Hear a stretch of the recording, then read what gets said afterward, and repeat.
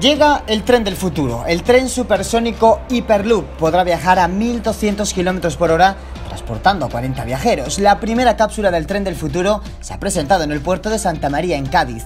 De allí es la empresa que se ha encargado del proyecto. Carbures promete con este avance tecnológico revolucionar el mundo, un auténtico proyectil para el transporte de pasajeros que viajará en un tubo al vacío.